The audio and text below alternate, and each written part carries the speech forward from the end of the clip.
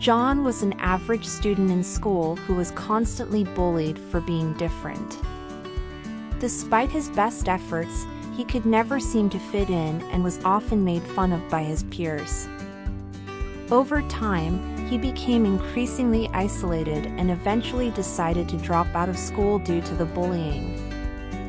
Despite the challenges he faced, John continued to pursue his education with determination and eventually graduated from college with a degree in business. He now works as a successful entrepreneur and is an advocate for anti-bullying efforts in schools. John's story is an inspiring example of how even in the face of adversity, it is possible to overcome obstacles and achieve success.